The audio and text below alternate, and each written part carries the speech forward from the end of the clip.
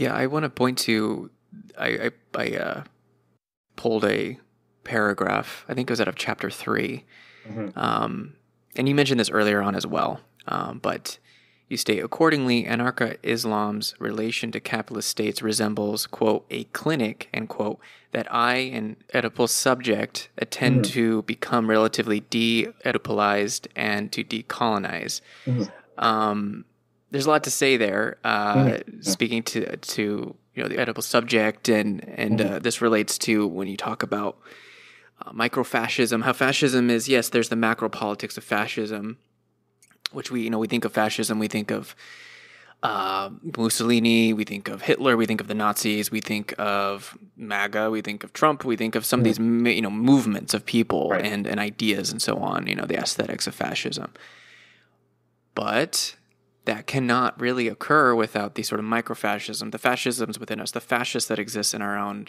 psyches, right? Right. um, I really appreciated that in you talking about these sort of anti-authoritarian um, tendencies or, or principles within Islam as a way to counter that. Of course, um, I think contemporary radical leftists could learn something about this, these ethics of how to deal with disagreements, how to build community, how to work with people they don't agree with, and on every point ideologically, but nonetheless you have a common goal.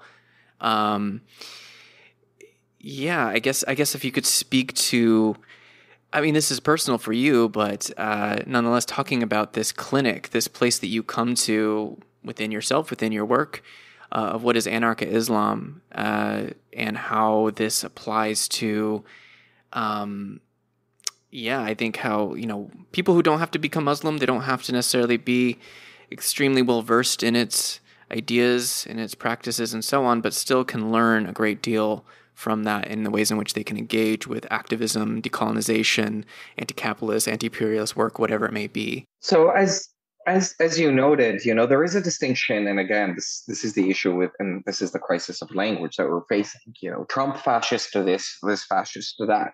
Mhm. As I noted, fascism is a mass psychology. Who amongst us is not an authoritarian or has patriarchal tendencies or authoritarian tendencies, has a mini Obama, a mini Mubarak, a mini Trump that is ready and willing to unleash Mhm. themselves upon the community. We know that patriarchy exists within anarchist communities. We know that sexism, we know that racism exists within anarchist communities. So let's not play this puritanical politics. We've all, as you noted, and as I write, and has a, and this is the difference, right? Is Hannah Arendt, uh, or, or sorry, Hannah Arendt wrote, sorry, the origins of totalitarianism, and and it was William Reich, a Nazi, who wrote the mass psychology of fascism, and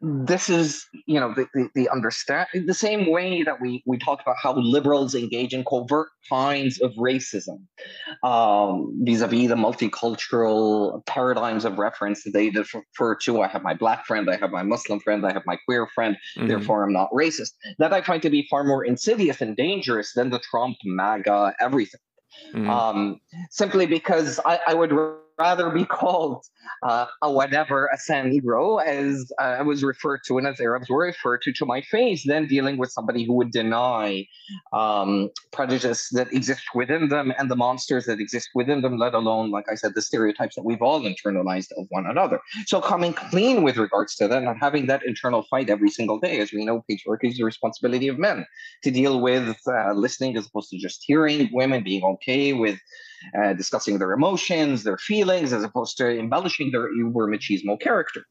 Mhm. So totalitarianism oper- so fascism is uh, it is very cancerous that way. It is what we must fight. Totalitarianism is something different. It operates vis-a-vis repressive, suppressive mechanisms from the top down. Trump wanted to become a totalitarian, like um, like S- Stalin, like Lenin, like very much, uh, you know, um, the cases in China or in North Korea or, or with Putin and so on and so forth. It- th- that that appeal of total outright control certainly exists. Mhm. But then we need to, in in order to to battle, we have to know what our enemy exactly is, including the enemy that exists within us. And one thing that again contributes to our humility is identifying that enemy within us and hence this is the reason in islam we have the greater jihad jihad al-akbar or jihad al-nafs which means to struggle against one's inner privileges and fascisms within themselves on a daily on a routine on a habitual basis within itself. What can facilitate that of course overcoming is certainly an individual responsibility. It's a communal responsibility insofar as how we call one another out within our communities as well because we also know that there's vicious kinds of calling out mechanisms that actually act to our detriment. They feed into shame, insecurities, and we all have these fears and insecurities because we're longing for community at the same time. But because we don't have community, our egos get the better of us by wanting to hoard and confiscate space, authority, despite being anti authoritarian or trying to embody an anti authoritarian ethic at the same time. So we at best hear one another when I enter into an anarchist space as a Muslim anarchist or Jewish anarchist or whoever anarchist goes into the space, and we are responsible for proving the reconciliation of our identities within itself, whereby a white anarchist does not have to do so. Mm. It's not it is not incumbent. And that's no different than, of course, everybody vying to become a hyphenated American, Canadian, whatever, the Native American, the African American, the Muslim American, and so on. But the white American gets away with simply calling themselves an American because that's supposed to be the nativism that exists within um, this colonial identity what anarchists can certainly learn and what can really everybody can learn, but what could help facilitate uh, this mitigating of stereotypes, of disagreements that happen because of ego, because of lack of knowledge, lots of reasons, are what I refer to as and usul al the ethics of disagreement or the ethics of conflict resolution, um, and the ethics of hospitality.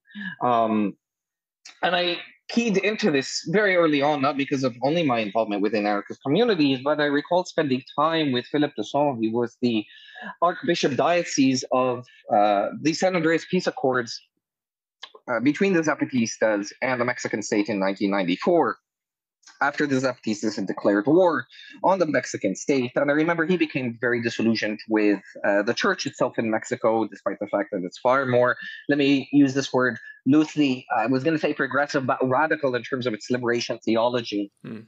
um, than certainly other churches within Euro America um, at least certainly within the recent contemporary.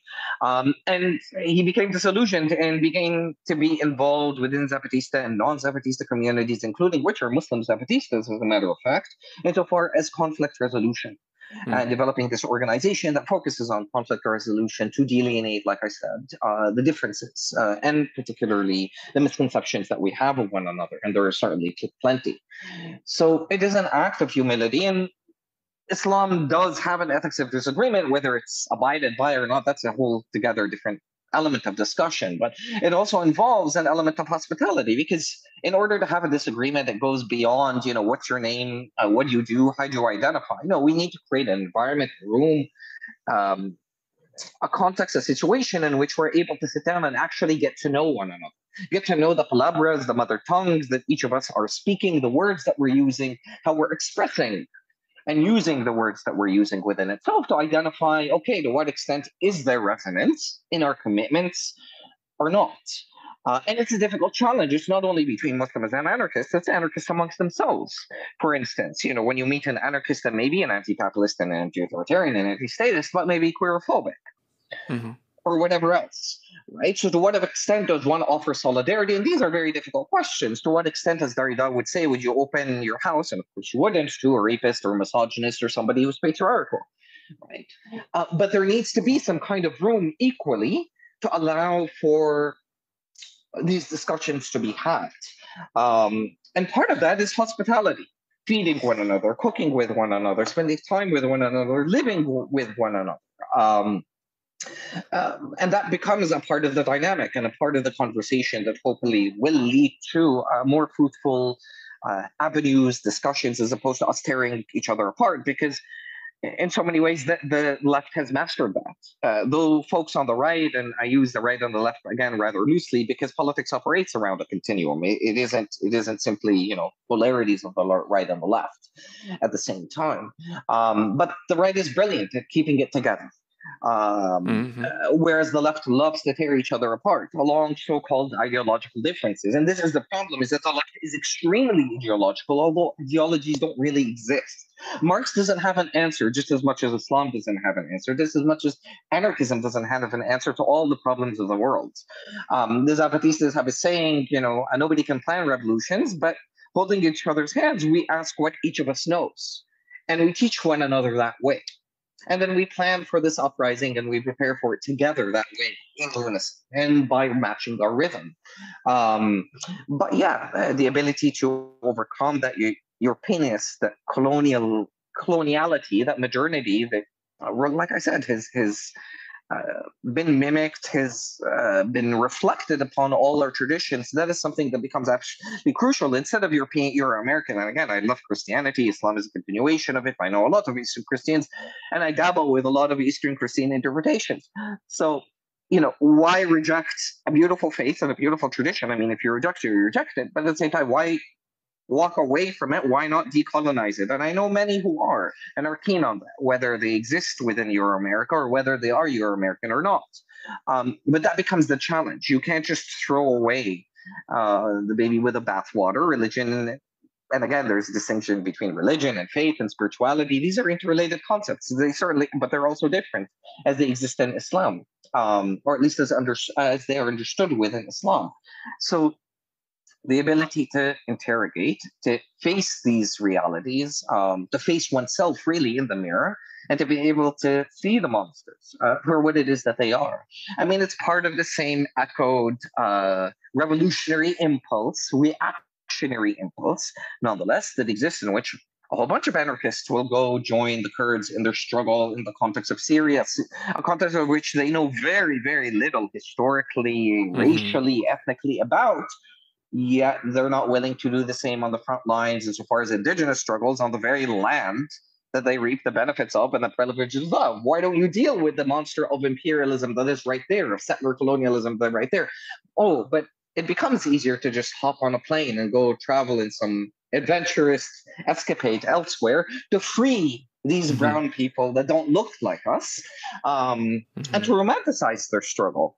That's the Orientalist, again, modern colonial trope that is being reproduced. Uh, in addition to, like I said, the anti spiritual. Sure, there exists a lot of people within predominantly Muslim communities, and there's a reason for that, particularly within uh, you know, predominantly non-Euro-American societies that have shunned away Islam or are Islamophobic, but there are reasons for that. Um, or we could sit down and talk about that. But you know, and the secularist aspirations by some on the left there, uh, and so on and so forth. But that's also a very different matter um, yeah. altogether. So